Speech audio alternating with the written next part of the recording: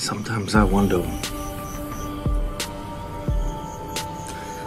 will God ever forgive us for what we've done to each other? And I look around and I realize God left this place a long time ago.